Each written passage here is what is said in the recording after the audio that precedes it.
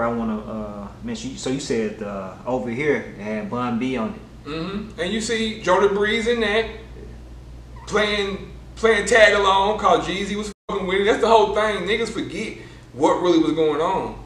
On getting money over here, who walked in the club with Jeezy first?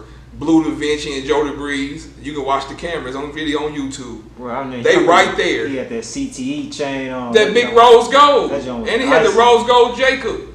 Like, yeah, that's before rap. That's before the deals. So who and my point is if Jeezy, if Meech was funding Jeezy, why why wouldn't he never had no BMF chains? You know what I'm saying? You go back and watch all them old videos of Meech being with Jeezy and Jeezy being with Meech. I bet you're gonna see CTE all over Jeezy. He had the Porsche truck in the, in the Ferrari though. Who? Jeezy? Yeah, that was Meech's. I mean, Meech gave him that because he was trying to sign him. You know, you trying to will a nigga in. I'm just throwing that out there. Yeah, but I'm just saying, you know how you will a nigga in? You try to give him perks and gifts, thinking that, but at the same time, you giving a nigga a Porsche truck and a Ferrari, he can really go buy it himself. Bleu was always a hater. That's why I don't really fuck Bleu. Was a hater, man. I don't care what you say. Bleu was a hater. He didn't, he didn't like nothing about Jeezy. I'm just gonna keep it real. He didn't like nothing about Jeezy. He didn't like Jeezy had his own crew, and they was Crips. He swear he brought the Crip shit around. He brought the Crip shit around BMF problem, but Jeezy knew about Crips before BMF. Before BMF, it was a Macon, Georgia, and Kinky B. You feel me? Let's go. We we take it back, and they've been cripping forever. So you didn't bring that shit to Jeezy. You brought that shit to Meech and them. But that shit wasn't nothing. That nigga was monkey, man. You heard Jeezy's song, Three Strikes. You know, he was in a movie called Three Strikes. That was Jeezy, Oh, yeah, yeah, That's what Jeezy yeah, told yeah. his ass. You better go, boy, you better go back over there. And then he tried to make a diss song on Jeezy. Man, Bleu was just whack. Um, the fans said it on the documentary. What the face? A white federal agent said we knew they weren't making no money off music called Bleu was trash. This is a white man. Everybody knew Bleu was trash. I hate when he did that when Jeezy had to do that song for him and um Fab. Fab. Streets on lock. yeah that shit was whack. You want messing with that? Street Streets on Lock was garbage. Now you want to go back to Jeezy and Fab song Word. Gonna do the damn thing. Uh, that was hard, right? it was classic. That Streets on Lock was trash. I thought it had a cool little beat, man. Man, Jeezy and Fab killed it. For I don't know what Bleu did. Man, the only reason I was asking about uh, Bleu Davinci is because he was like the poster child for them as the record label, as the mu- on the music side. That's why I asked. That's how you know it was bullshit. Like, come on, man. He was the poster child for their music, right? What music? I can't name a blue mixtape, a blue album. That's all I'm saying, man. And that's why he hated Jeezy.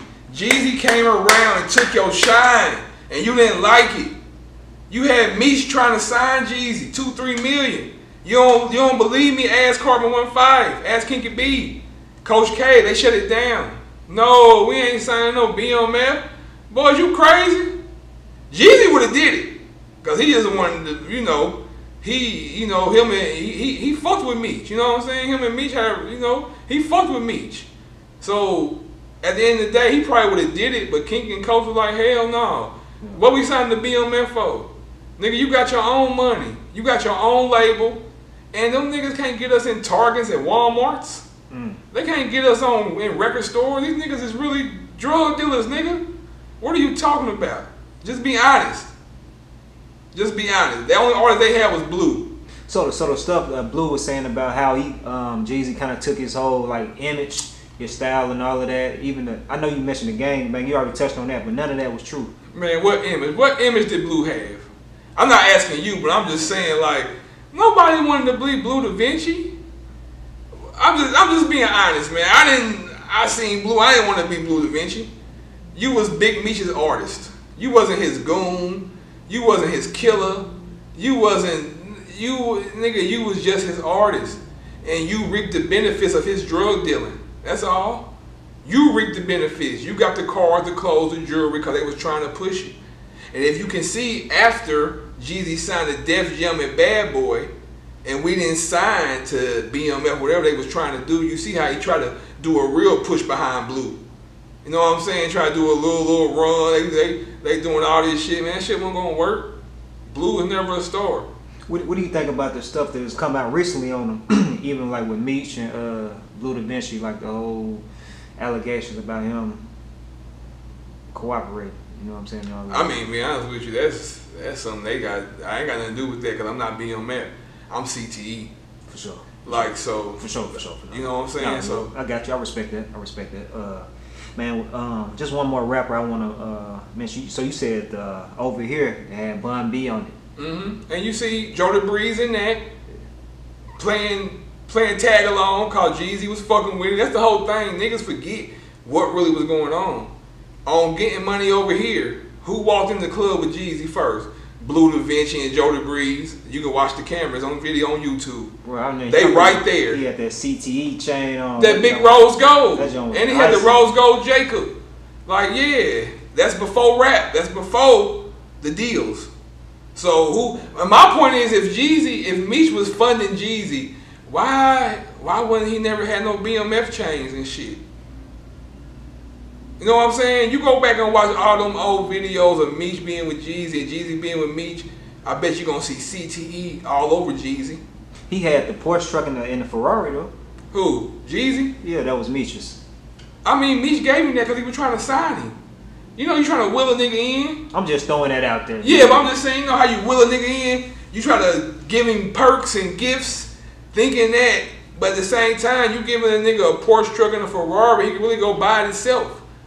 That's what they fail to realize. They fail to realize. They try to. They try to think like Meech gave Jeezy all his money, or me Jeezy was spending Meech money, or no, that was all Jeezy paper. That was Jeezy and Kink doing. I seen it with my own eyes. You feel me? I didn't. I didn't. When I first met Jeezy for the first time, and we was at Patchwerk Studio, the nigga was buying jerseys. He's buying a bunch of jerseys from Exclusive Game, right? Oh yeah, exclusive game. He was buying a bunch of jerseys. Everybody in the studio, Meech, everybody. They got on minks. They buying jerseys, old dog and them, baby. Everybody buying all type of shit from exclusive game.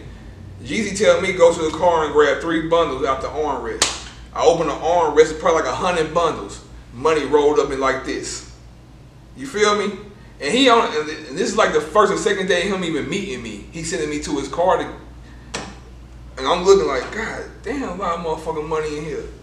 You know what I'm saying? So I know for a fact Jeezy had his own paper. I know. I ain't go. It can't take nothing away from him and King. When I first met King, King had a million dollar house in Alpharetta and still probably do. You said when you first met him, he had a million dollar house. Hell yeah. King tell you himself he was a King said he had a million dollars at 17. Like them niggas been getting paper. You know what I'm saying? Like like when I nigga I remember Jeezy had the old school, him and King had matching 442s. Talking about retarded, nigga. Me and Jeezy almost lost that bitch in front of Walter because he hit that motherfucker. That motherfucker fishtailed and did 360. And I remember our first concert, well, one of our first concert in the country, right? King and Jeezy had the matching 442. We put up to that motherfucker. Nigga, I'm talking about the buttoning rims, buttoning motherfucking steering wheel, talking about retarded shit. Nigga, matter of fact, King shit fucking wouldn't start. We had to get this shit towed back. Cause you know the old schools be, nigga. But nigga, matter of fact, I want to say Jeezy cousin, Shakri, whatever his name is, had knocked out one of the Crip niggas, right? This is the first time I've ever been around the gang shit. Because you gotta understand the Crip shit didn't come to Atlanta until we moved to Thug Mansion. You feel me? So when I was, so when I first got with Jeezy, it was just me, him, Coach, Five Chief, and Dank. Five Chief and Dank wasn't no gang members. Okay. They, they was kids down there. Jeezy been having them since high school from the Young Guns Entertainment. Mm. So when they first came around, I knew Jeezy was a. I know Jeezy and Kink was cripping.